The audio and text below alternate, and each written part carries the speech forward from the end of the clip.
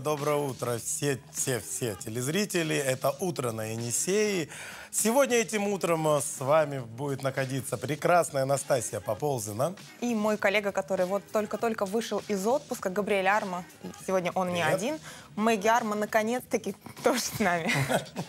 Ну, э, мы рады, рады, что это утро начинается вот таким, с таким позитивом. Ну и, конечно же, с нами ведущая э, утренних новостей Анна Троегубова. Доброе утро, Аня. Доброе утро, Настасья Габриэль. Доброе утро всему Красноярскому краю. Мэгги тоже желаю радостного дня сегодняшнего. Наконец-то у нас уже совершенно теплая погода. Между прочим, сегодня начинается весенняя неделя добра, поэтому я вот всем советую, вам советую и всем-всем-всем начинать творить добро любое. Главное, чтобы было добро. Еще хочется сказать, что эфир у нас сегодня будет необычный. Третий час программы «Утро на Енисей» пройдет на выезде. А вот где, расскажем чуточку позже. Ну а прямо сейчас, Аня, давай расскажи о новостях.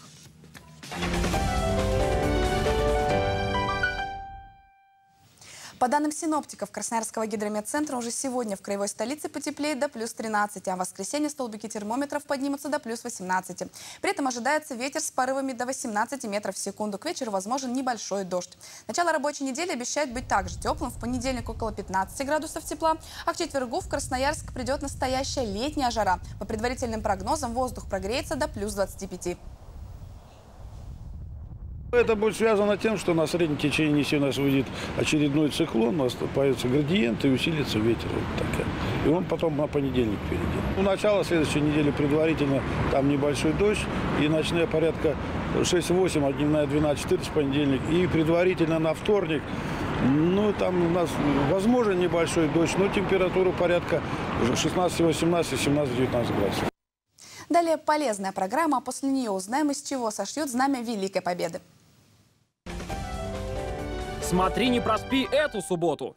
В Красноярск приехал Липовый Челентано. Сколько ему пришлось работать, чтобы полностью скопировать образ известного певца и актера, и что сам Адриано Челентано думает о своих подражателях. Зелень полезна для здоровья, но оказывается ее можно выращивать не только летом на огороде. Как из одной баночки вырастить мини-огород, узнаем из новой серии спецпроекта «Крошка сад».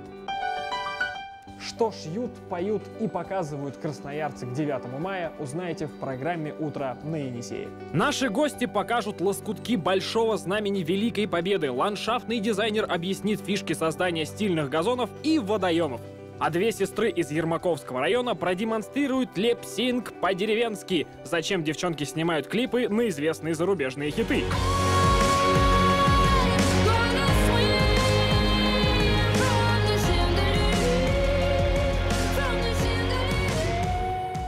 Конечно, во время национального турнира по роликам встанем и всех поставим на коньки. Трюки от лучших райдеров и свидания на роликах первой пары клуба знакомств.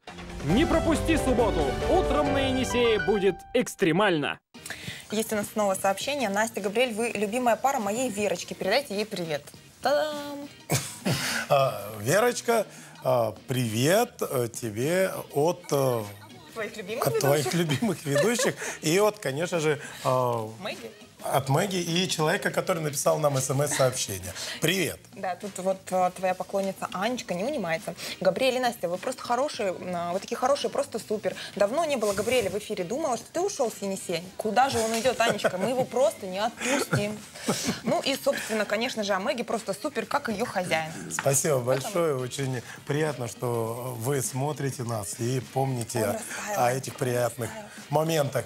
Ну а мы продолжаем. А, Хотелось бы сказать, что в Красноярск приехал Липовый Челентано. Липовый. А, ну, э, горожане с удовольствием пошли на его концерт, зная, что он не настоящий. На самом деле Маурицио, так зовут заезжую звезду, даже грим не нужен. До того он похож на известную мировую знаменитость. Ну, собственно, с подробностями наша коллега Лучия Постигая.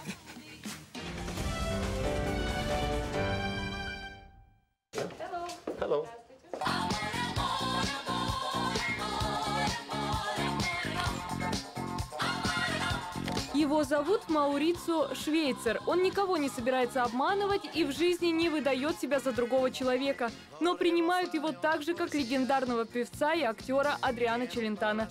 Образ стал для него, что называется, второй кожей. Посмотреть на копию итальянского маэстро и в живом исполнении послушать песни, по которым несколько десятков лет назад сходили с ума во всем мире, в Красноярске пришли около тысячи человек. Но он ведь не настоящий. Он очень похож на него, у него замечательная песня, он поет вживую. Средство любимого певца. Но ведь это не настоящий ваш любимый. Тем не менее, А никогда не хотели быть похожим на настоящего Челентана? я и так похож. Чем? Характер. Энергетикой. sempre di più e la lira cede svalutation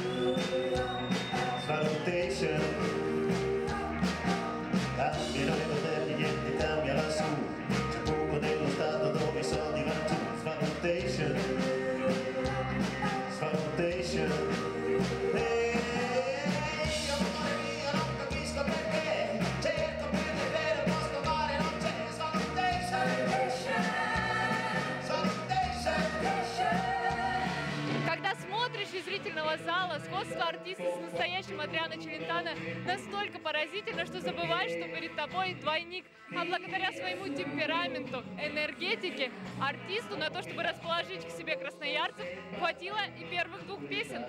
Для перевоплощения Маурицу не требуется даже специальный грим. То, что он похож на Адриано Челентано, ему постоянно говорили друзья и родственники. Тогда Маурицу стал слушать песни итальянской звезды и понял, что они схожи и по тембру. Копировать голос, манеру исполнения песен, движения и мимику артисту нетрудно. По его словам, все это идет изнутри. Но самое главное, говорит Маурицио, не потерять свою личность. Lei nell'87 vide Adriano a Mosca. Я получил недавно хороший комплимент от одной женщины. Мы были, по-моему, в Нижнем Сахалинске. Она видела самого Челентана в 87 году. Единственный раз, когда он был в Москве. И она мне сказала, Молодец. ты настоящий Адриана. У тебя все-таки есть своя личность. Это хороший комплимент. Маурицио, кстати, родился на одной улице с великим итальянским актером, а еще, как и Челентано, некоторое время был сантехником и зарабатывал физическим трудом. Поэтому он очень ценит, что смог найти свое место на сцене и дорожит вниманием зрителей.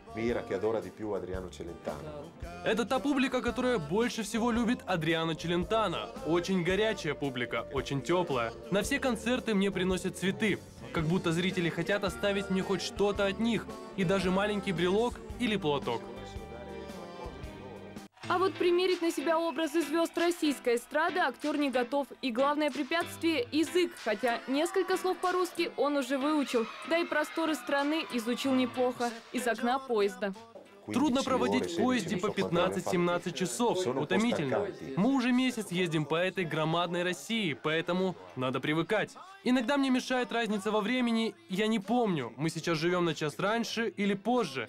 Я даже не помню, какой сегодня день. Magari Una volta sei 7 ore indietro, poi 5 avanti, poi vai a Mosca. Сам Адриано Челентано в Россию вряд ли приедет, поэтому спросить, как он относится к своему двойнику, невозможно. Говорят, он заявил, что ему нравится смотреть на себя, молодого и беззаботного. Хотя сам Маурицо об этом никогда не слышал. Спасибо большое a tutti quanti. Grazie. Ciao.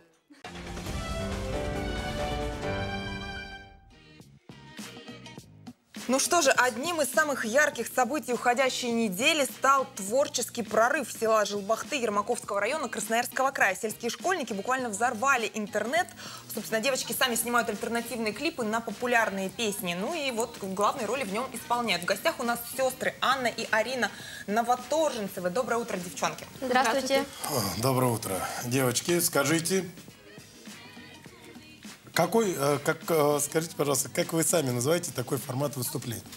Ну, фото и видеосъемка, видеоиндустрия. Ну, мы как бы снимаем и монтируем клипы. Ну, Мгм. видеосъемка. Вообще, Но- наверняка каждый из нас там в э, детстве пел в расческу Да. перед зеркалом. То есть это, в принципе, не ново, но тем не менее, как вот идея пришла создать именно такой творческий коллектив? Ну, у нас э, брат с сестрой раньше в детстве снимали, занимались видеосъемкой. И мы эту идею подхватили и сами решили заниматься таким делом. Вот с 2011 года занимаемся этим делом, снимаем клипы.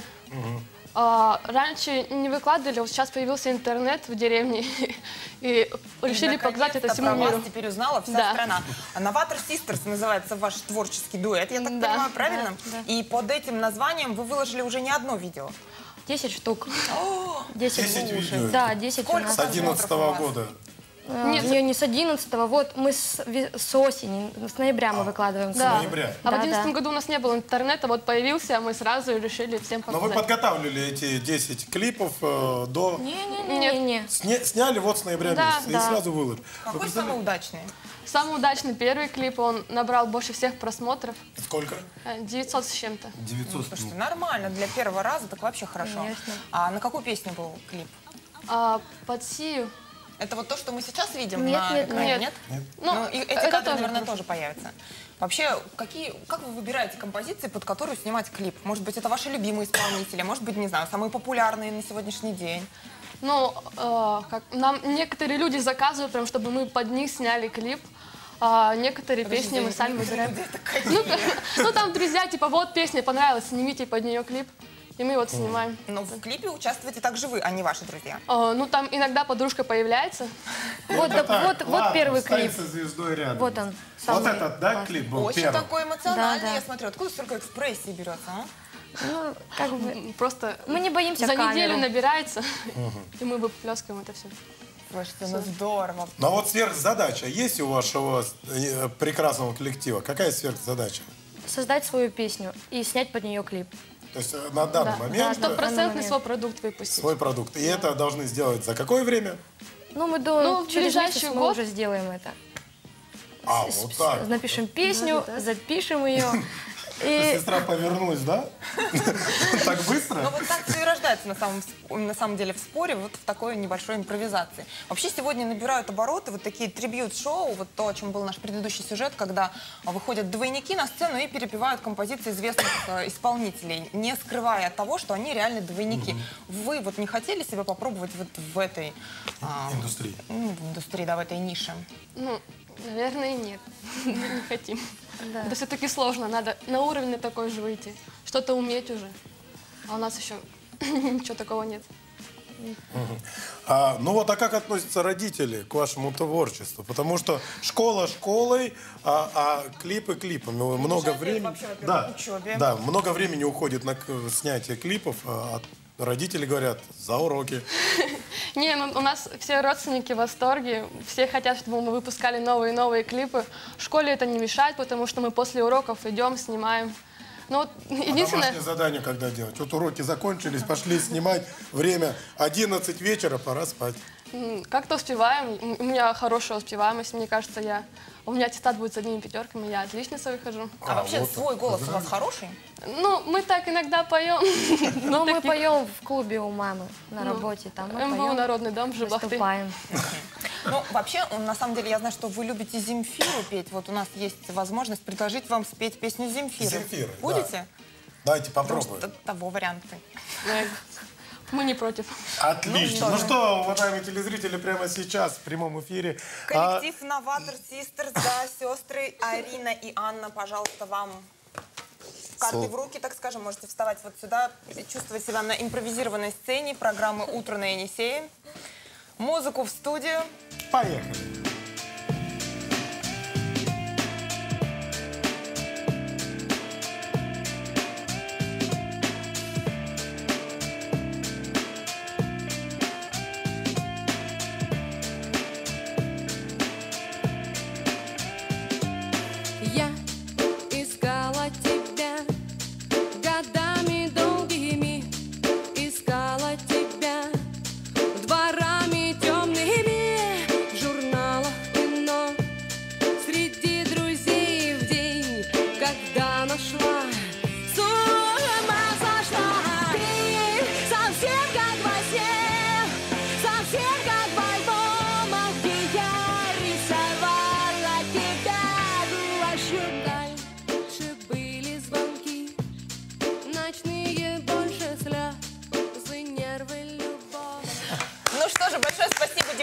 Это был фрагмент Земфиры в исполнении коллектива Новатор Систер. Девчонки были у нас сегодня в гостях. Большое спасибо, что пришли, не побоялись. Ну, как вы сказали, мы камер не боимся, мы это увидели прямо сейчас. Большое вам спасибо и огромных творческих успехов в ваших начинаниях. Спасибо, спасибо. Спасибо большое, что у нас в гостях. И у меня для вас есть подарок один, только что сделанный вручную. Еще один видеоклип. Совершенно верно. Ну а мы продолжаем. И прямо сейчас э, тоже от э, юмора к ю- ой, от, тан- от музыкального к музыкальному творчеству переходим.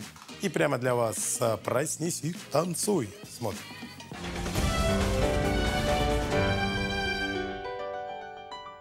Танцуй, пока молодой мальчик, ну или девочка. Впрочем, неважно. Главное, танцуй. You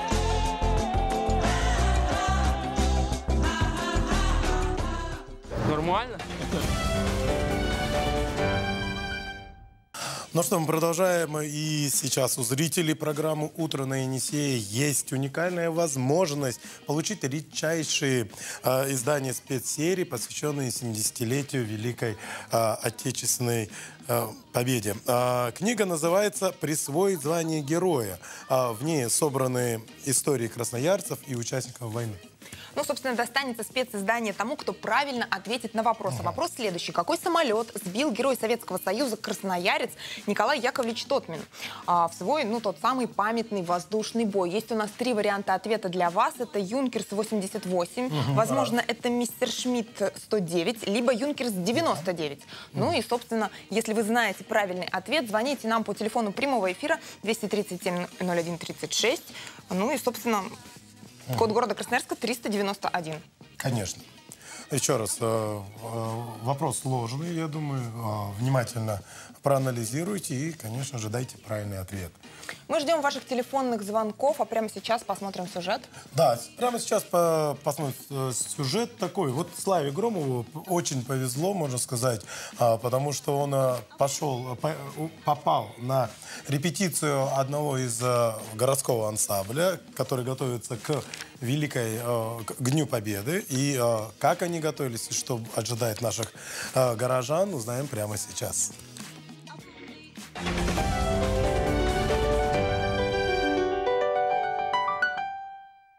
Красноярск и красноярцы продолжают готовиться к празднику Великой Победы. А какой же праздник без песни?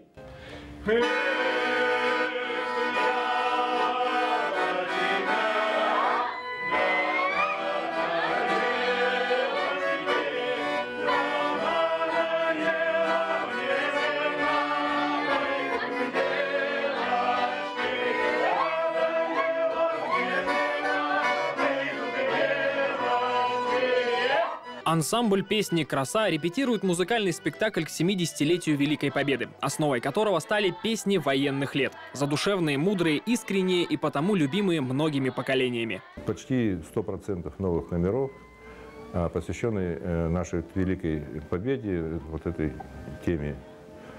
Э, Очень э, самое. И программа достаточно насыщена и в плане количества и качества номеров.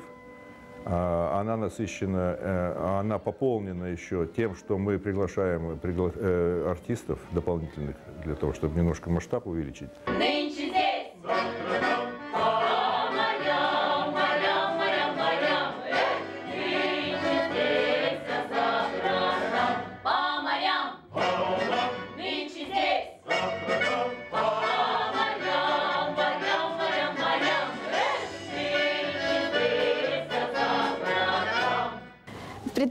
9 мая пилотка является самым патриотическим головным убором. Так что пилотку мы сегодня и сошьем. В одной из швейных школ Красноярска также кипит работа по подготовке к великому празднику. Швея Наталья Лопатко решила, что самым актуальным головным убором станет военная пилотка. Данный предмет гардероба Наталья шьет в первый раз и очень волнуется за качество, ведь это один из ярчайших символов победы. Кстати, о символах победы. Красноярский музейный центр предлагает краевым музеям разместить у себя передвижную выставку, посвященную памяти о победе в военных фотографиях. Выставка под названием «Мечты, надежды, время» — это 53 рассказа в фотографиях о жизни и судьбе ветеранов, которым от 80 до 100 лет. Они умеют ценить настоящее, их юность прошла в годы Великой Отечественной войны, многие из них потеряли родных и близких. Все их подвиги ради мира и жизни не остались забыты.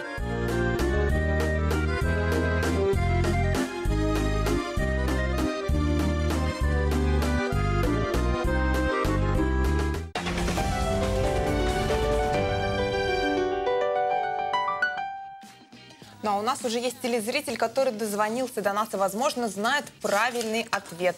Доброе утро. Габриэль уже как раз штудирует книгу. Алло, доброе утро. Здравствуйте, представьтесь, пожалуйста.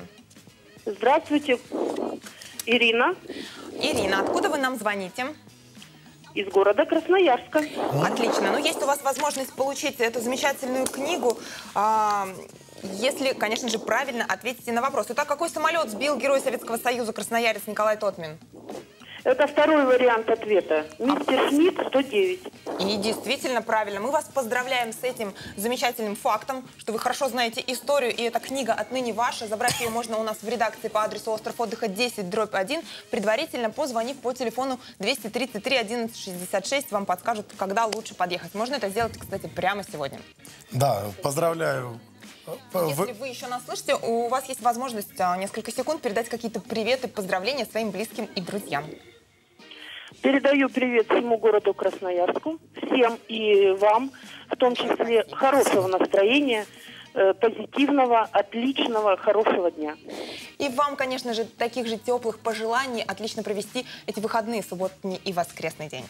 Ну а мы продолжаем. И прямо сейчас вот э, хотелось бы э, прочитать, э, каким губительным последствиям приводят азартные игры. Как изменить свою жизнь э, и как Иван Царевич справился с препятствиями на пути к любви. Я вот не знаю, где ответ искать на эти вопросы. А вот я знаю. Ответ вы можете узнать прямо сейчас, когда посмотреть все эти новости э, и фильмы и программы в обзоре нашем прямо сейчас.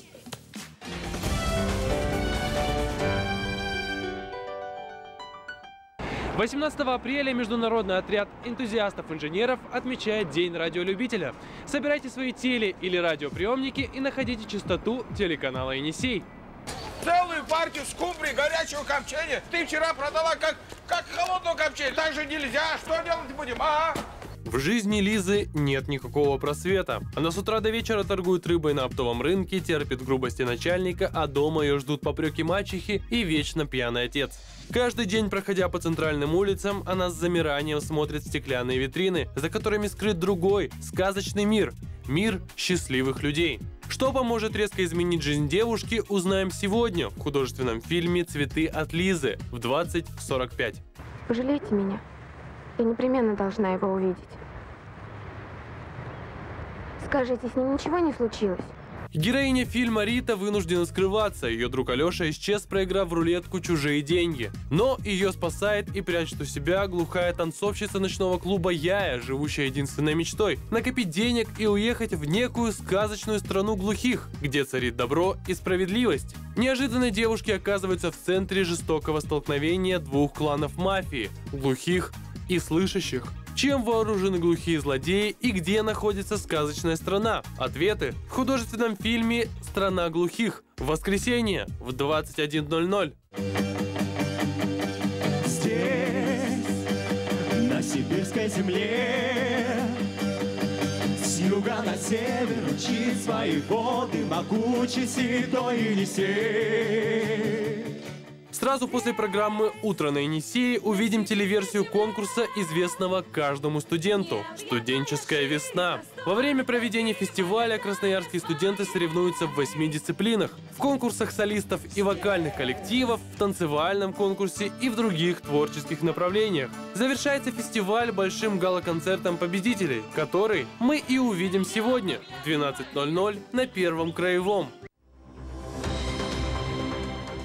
Пожар в Хакасии и прямая линия с президентом. Подведем итоги в воскресенье в 18.30 и 23.30. На этой неделе у нас будет не совсем типичный выпуск, э, я бы даже сказала, совсем не типичный, ну, просто потому что большая его часть будет, конечно, посвящена Хакасии. Так сложилось, что на этой неделе трагические события в республике стали главной темой. Было у царя Гурьяна три сына. Старшего звали Феодором, среднего Василием, а младшего Иваном. Иван-царевич полюбил лесную царевну Марию, но их счастью мешают темные силы, коварные и завистливые Ивановы братья Федор и Василий, и обитающая в Марином лесу нечисть, Баба-Яга, Леший и другие. О приключениях и подвигах и о благородстве и храбрости исконно русских героев напомним себе в 14.30 на телеканале «Енисей». О, какой красивый тортик! Каждый документальный фильм «Свадебный переполох» — это встреча со звездной парой. Наталья Королева и Сергей Глушко, Валерия и Иосиф Пригожин, Игорь Николаев и Юлия Проскурякова. И многие другие станут героями фильмов. Кто-то закатывал пир горой, другие наоборот, старались спрятаться подальше от посторонних глаз. Как звездные невесты выбирали наряды, а женихи нервничали, узнаем сегодня в 19.35 и в воскресенье, также в 19.35. Пробирается медведь сквозь лесной валежник. Стали птицы песни петь и расцвел подснежник. 19 апреля – День подснежника. Радуйтесь весне вместе с телеканалом Енисей на этих выходных.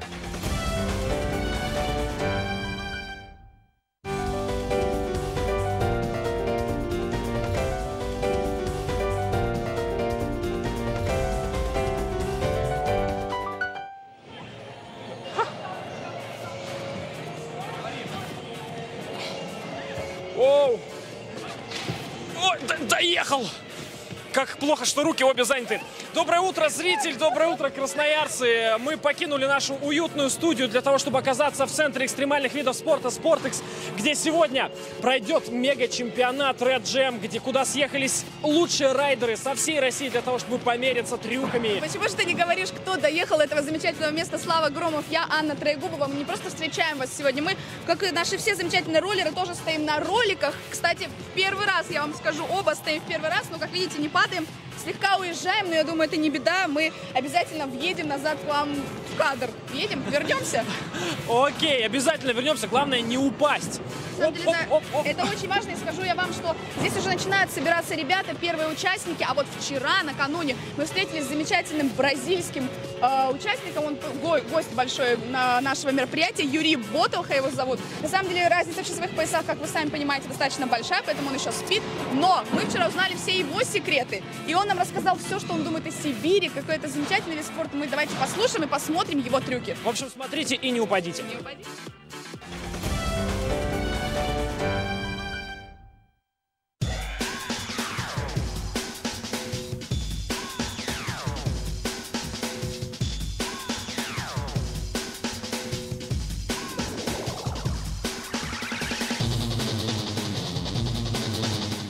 Я начал кататься на роликах еще в 10 лет, и сейчас могу сказать, что это уже мой стиль жизни. Катаюсь каждый день.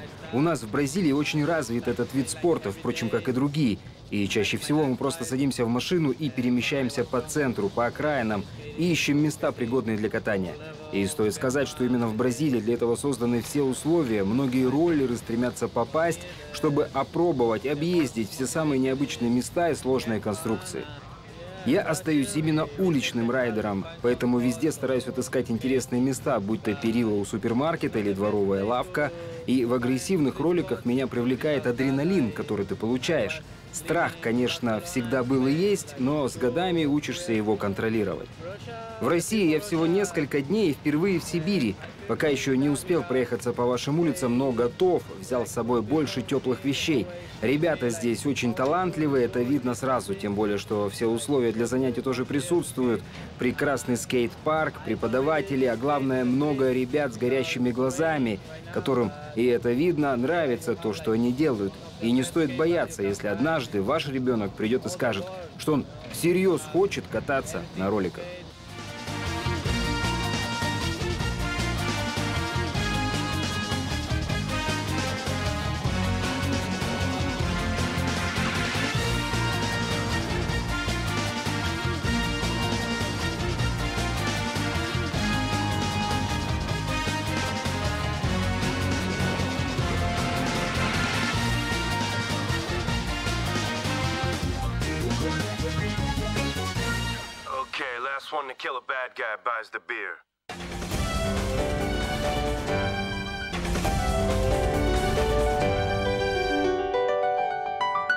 Прямо сейчас о погоде в северных районах Красноярска. В Туре ясно, небольшой снег, минус 4, плюс 2.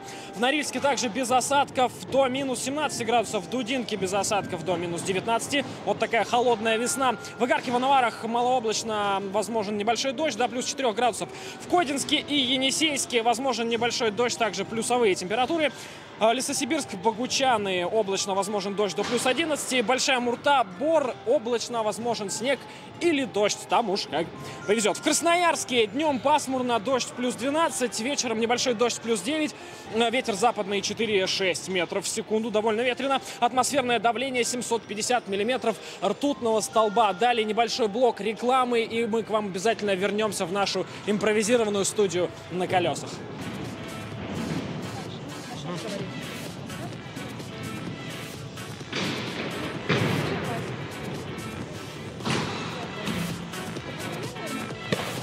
Свое мастерство показывает зрителям э, утро на Енисее Гриша Михалицын, призер международных соревнований. Он приехал к нам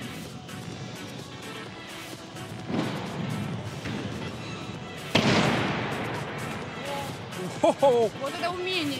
Я даже не знаю, сколько нужно тренироваться, чтобы так, чтобы тебя получилось. Вот он сейчас прыгает по рампам и лестницам, и я вдруг по- понимаю, что мне такого не постичь просто никогда. Ты встал первый раз на ролике, ты сейчас Я упадешь, встаю, ты я не просто. верю. А он не просто едет, он подпрыгивает, перескакивает, и мне кажется, он совершенно ничего не боится. Смотри, Смотри, что он делает. Я Просто настоящая сорви голова, ну в прямом, э, В хорошем в переносном смысле, да. смысле этого слова.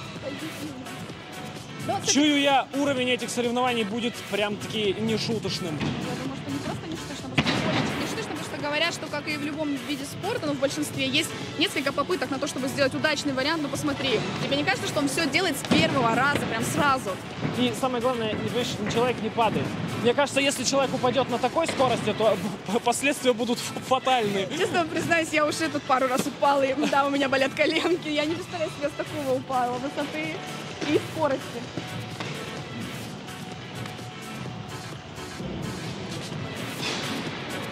Ну, между прочим, вот как сами ребята нам рассказывали, что трюки-то рождаются у нас в импровизации, и каждый, у каждого из них своя уникальная индивидуальная особенность, поэтому только, наверное, если очень часто много тренироваться и ну, всячески, я думаю, прыгать, перепрыгать, можно вот таким вот мастерством овладеть.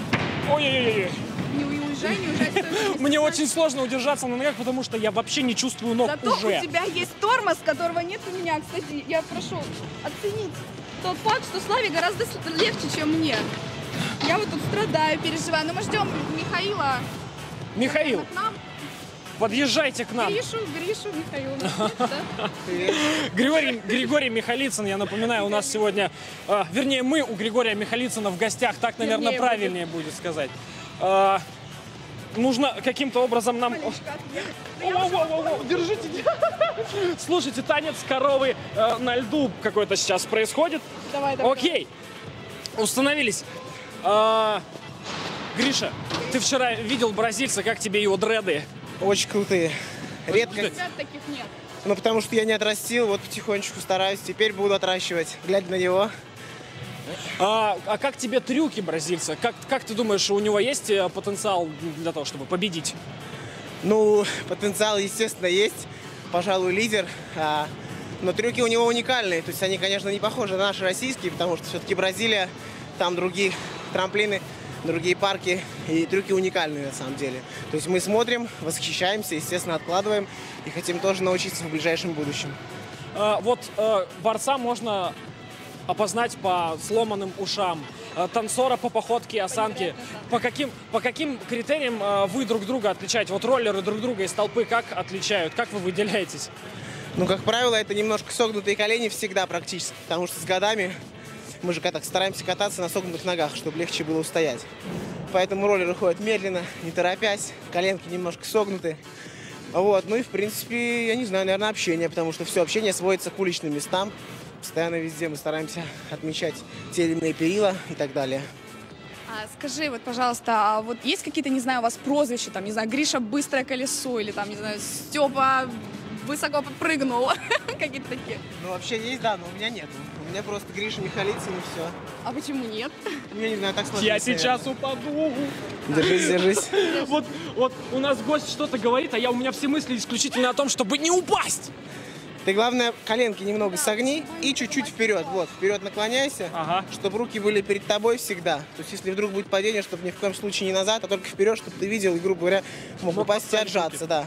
Скажи, пожалуйста, ты вот уже сказал, что бразильская и российская отличаются трюки, да, вот те, которые вы придумываете. А как вообще они рождаются? Ну и в чем преимущество? У нас есть какое-то, может быть, преимущество перед ними или наоборот?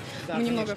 У нас э, трюки рождаются, по сути, на оборудовании, да, то есть здесь мы видим уникальное оборудование, уникальный формат соревнований, на котором ребята смогут продемонстрировать свой уровень. То есть это действительно очень круто, очень, э, так сказать, толкает нашу всю индустрию.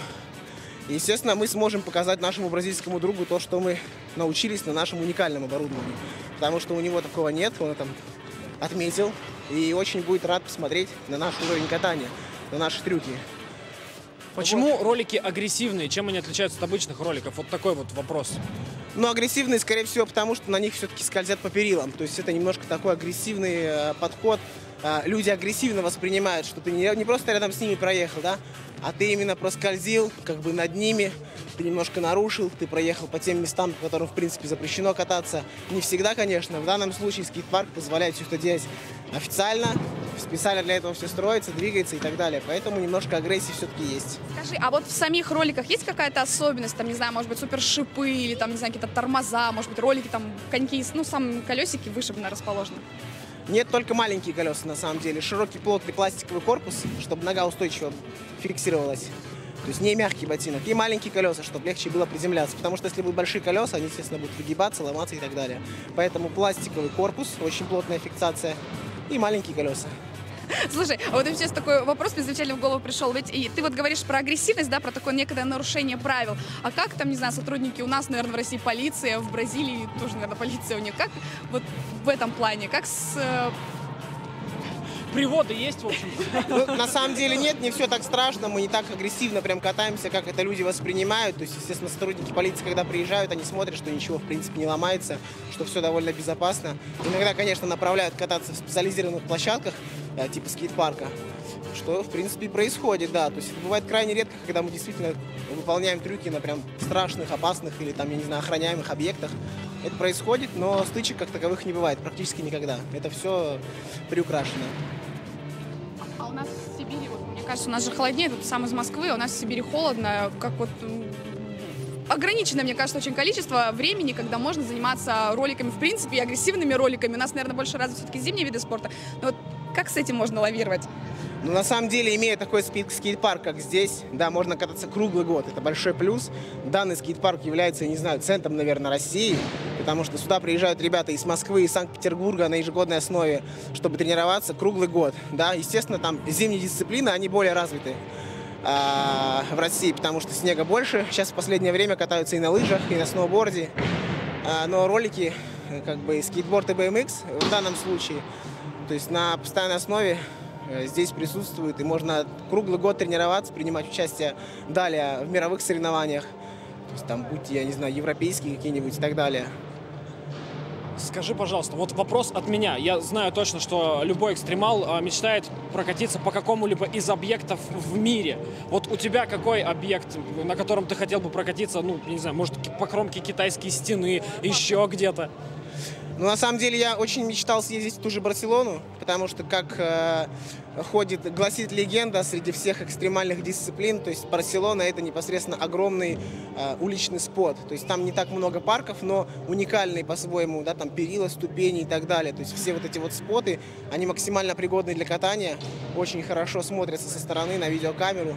А вот, и поэтому я туда съездил в прошлом году, снял небольшой себе профайл, то есть очень доволен, все, в принципе, прошло успешно, без травм, без каких-либо э, плохих последствий. То есть я доволен.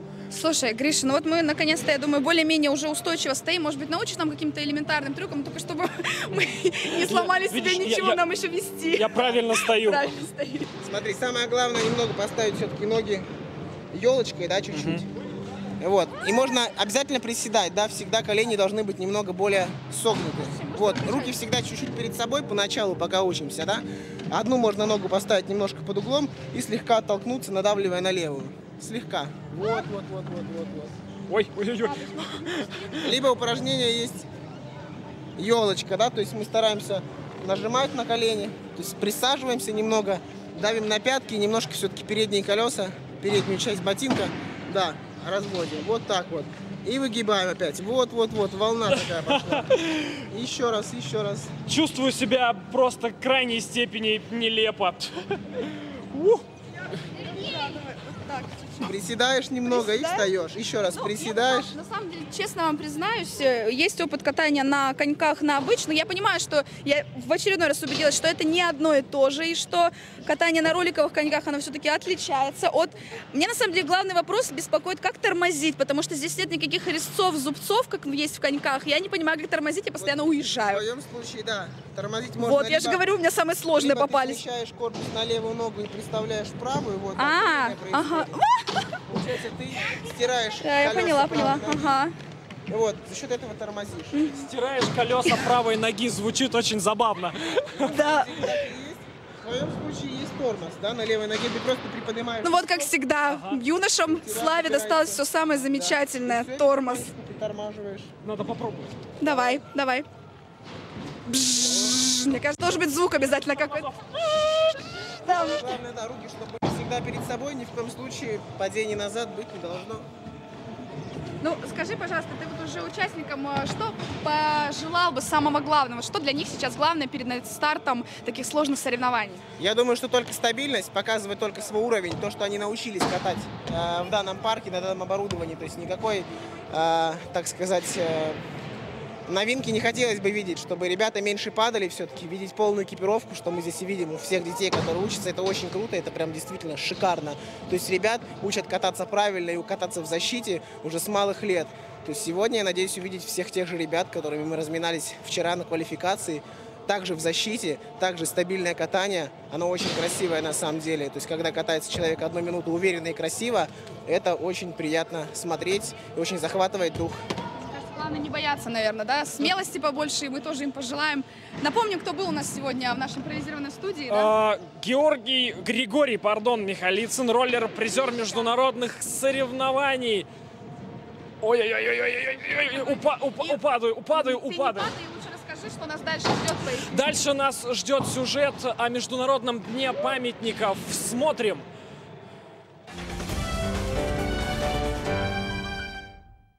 18 апреля отмечается Международный день памятников, и можно сколь угодно жаловаться на наш город, мол, далеко находится и климат сложный, но вот по количеству интересных памятников мы одни из лидеров по России.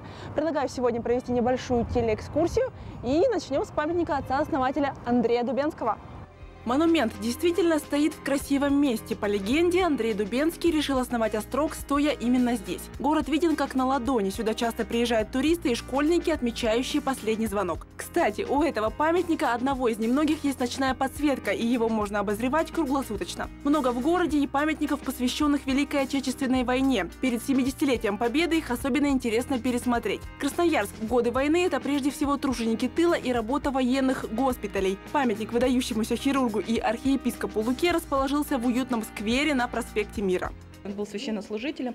Именно так он оказался в Красноярском крае за свою церковную деятельность. Он был послан сюда. И в самом начале войны он попросился оказывать медицинскую помощь раненым и был отозван для работы в Красноярском госпитале. И благодаря его усилиям в 1943 году на территории Николаевского кладбища памятники чувством юмора, например, всеми любимые дядя Яша и его стажер. Эта забавная композиция появилась у здания водоканала больше 10 лет назад и очень полюбилась горожанам. Они бросают монетки в бутафорский люк и загадывают желания. Кстати, в 2005 году дядя Яша и его стажер стали победителями конкурса «Самый забавный памятник», который проходил по всей России. Не менее забавен и мужчина с собачкой, выпивший на площади влюбленных. В народе скульптура получила название «Дядя Вася Алкаш». А вот памятник 10-рублевой купюре для нас, красноярцев, символ богатства и процветания. Его установили в 2011 году, как раз тогда десятки выходили из обихода. Ну и, естественно, сам Бог велел сделать это в Красноярске, потому что именно на десятке изображены виды города. Прошло 4 года, а десятки до сих пор еще можно встретить в ходу.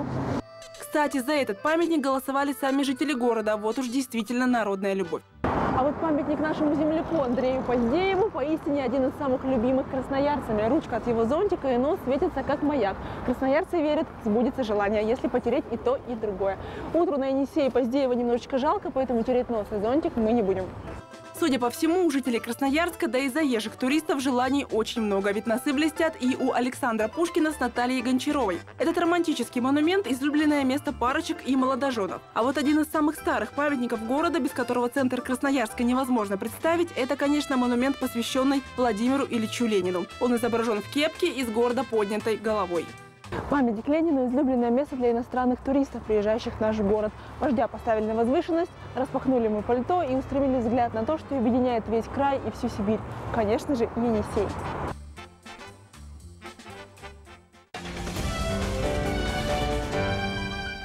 Напоминаю о том, что это прямой эфир. Мы находимся в скейт-парке Центра экстремальных видов спорта «Спортекс». И у нас продолжает свою работу краевой клуб знакомств. Э, Наш телезритель Максим в среду был в гостях и уже заявил о своем желании найти невесту, но, к сожалению... Как... Она не пришла, не пришла, не пришла. Но это абсолютно не в отрицательном смысле я говорю.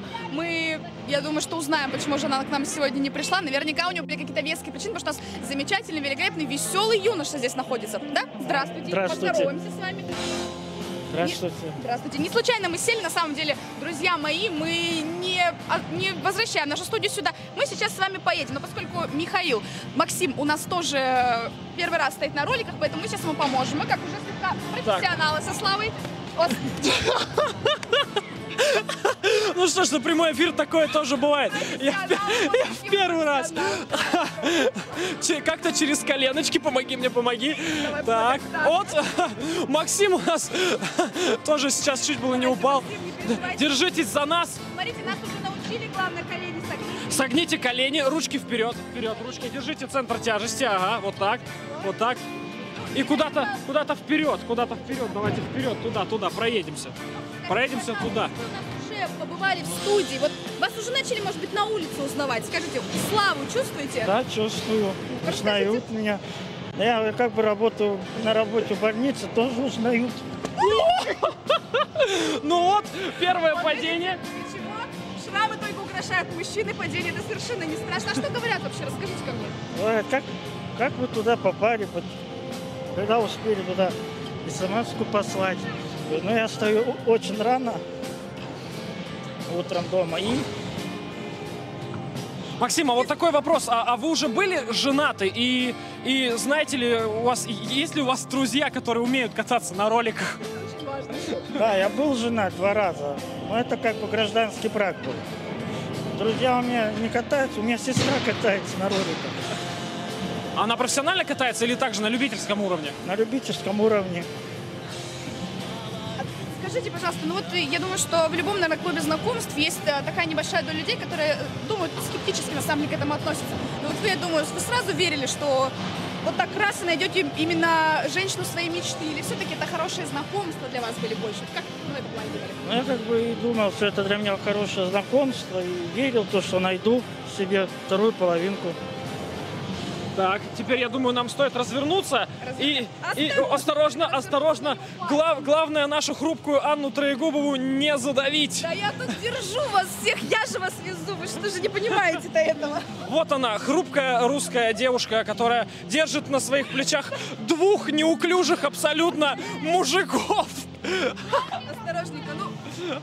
Осторожно, мы тут э, немного мешаем занятию маленьких э, роллеров. Я... Нам говорят, не сбивайте конусы. А как вы относитесь к детям? Вы хотите ли детей в будущем? В будущем, да, очень хотел детей. Куда-нибудь потом в секцию какую-нибудь спортивную записать. Или на танцы. Ну вот уже про ролики думаете, скажите честно? Думаю. Мне кажется, что это очень... Отлично, со своими детьми вы будете очень хорошо кататься на роликах. Но я вам напоминаю о том, что с нами был Максим. Если он вас заинтересовал, звоните по телефону в нашей студии. Ну а прямо сейчас Анна Троегубова расскажет, что нас ждет дальше. А дальше у нас на самом деле, я вот гляжу на всех спортсменов, которые здесь занимаются, наверняка, чтобы так заниматься, нужно правильно много тренироваться и, конечно же, правильно кушать овощи, фрукты. И главное, это зелень. Вот, вспоминайте, зелень, зелень нужна. А между прочим, дома ее можно высаживать круглый год и выращивать, поэтому мы сейчас узнаем из проекта «Крошка сад», как же это сделать, что где купить, смотрите, не пропустите.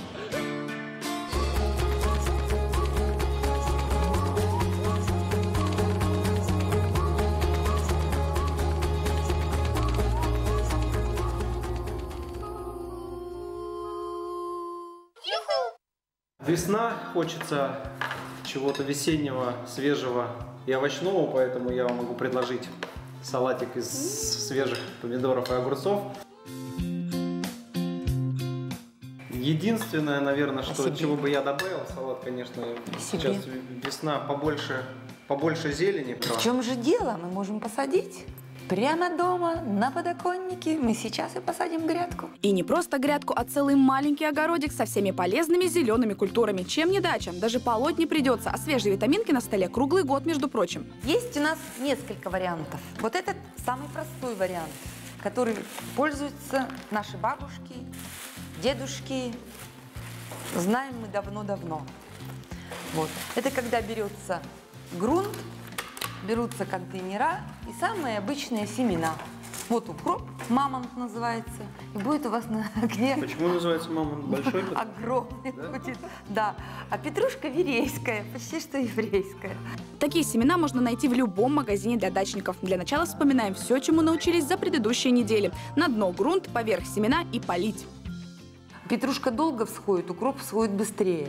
Чуть теплее комнатной температуры – это то, что нужно. Желательно укрыть пленкой для лучшего прорастания. Тогда и ждать себя не заставит урожай. Ну что, посадили мы петрушку, а вот укроп-то у нас мамонт называется. И чтобы он не подавил нашу красавицу петрушку, мы его посадим отдельно. Больше зелени, больше витаминов. Чтобы не теряться во всем многообразии трав, выбирайте отечественного производителя и внимательно читайте упаковку. F1 это те, которые, м, они не дают семян. И вот если хотите, чтобы у вас были дети, то F1 лучше не есть.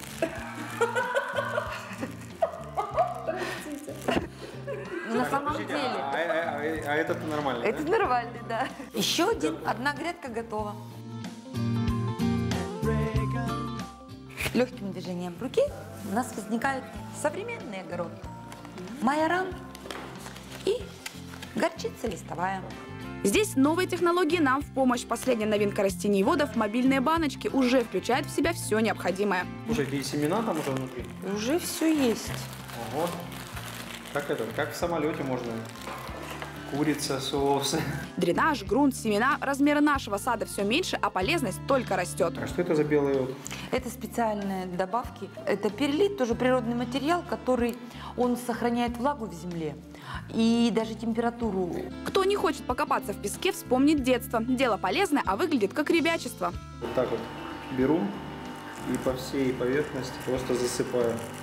И я тоже самое.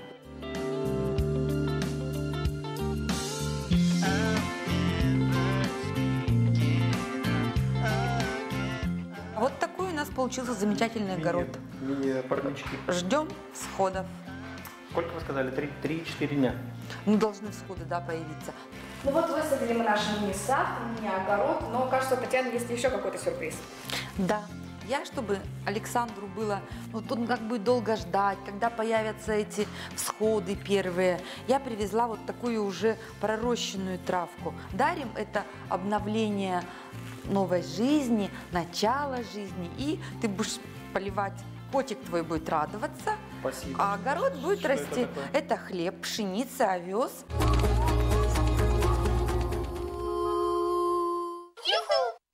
Решили отдохнуть Надо, немножечко. честно скажу, мы не просто присели, мы брякнулись и шмякнулись прямо сейчас вот на свои пятые точки. Но не одни мы здесь будем. Я думаю, что мы, наверное, кого-нибудь здесь встретим. Как ты думаешь? Я думаю, что мы встретим нашего очередного гостя, который уже, я так понимаю, за нашими спинами показывает какие-то нереальные трюки. Вы от нас не убегайте. не Ура, ура! убегайте от нас. Аплодисменты! Можете падать прямо к нам. Падайте. Падайте прямо к нам. И сейчас мы будем представлять нашего гостя. Это Вадим Шкиль, роллер из Бишкека, Киргизия, участник привет. всероссийского турнира Red Jam. Аплодисменты! У! Ну и, собственно говоря, сразу первый вопрос. В дружественных нам странах популярны ролики и тем более агрессивные. Как там вообще продвигается все это дело? Э, В Киргизстане, к сожалению, вообще никак не продвигается. Вот, э, у нас... И как же тебя занесло-то? Я вырос э, в Европе, я там это начал кататься, потом э, вернулся на родину и там начал это развивать. И теперь благодаря тебе там больше адептов агрессивных уже. роликов? Нас человек 8 уже. А где вы там катаетесь? Какие-нибудь здания разрушены или что? Просто на площади мы, мы сварили 10-метровую э, перилу. Сами, да. Вот государство нас, как здесь в России, не поддерживает. Вот у нас, э, я, я так понимаю, это турнир. Вы готовитесь к турниру. Э, как оценивается мастерство роликов? Какие самые замороченные трюки, там еще что-то? Как это вообще оценивается все? А, опыт. Опыт, э, он как-то, вот опыт оценивается, наверное, я не знаю, насколько это...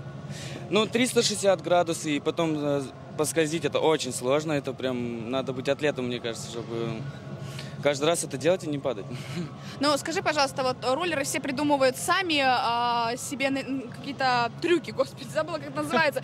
Ну вот ты много придумал сам трюков или все-таки где-то подглядывал немножечко у профессионалов больших? Конечно, конечно, всегда смотришь э, на ребят, э, э, прошников, э, и они тебя стимулируют, знаешь. В принципе, база трюков, она одна, то есть это как э, э, алфавит, вот. Э, Также у нас есть алфавит, просто мы сами делаем слова из этого алфавита. У каждого свой стиль, э, свои способности. Я бы сказал, это филологи на роликах, которые составляют свои слова из своих букв. Я напоминаю о том, что с нами был Вадим Шкиль, роллер из Бишкека, Киргизия, участник всероссийского турнира Red Jam. Желаем, конечно, продвижения и дальше у тебя на родине этого вида спорта. Ну, а мы сейчас все вместе узнаем, что же сегодня еще можно будет посмотреть на нашем канале. Я думаю, что много интересного и кроме роликов еще будет.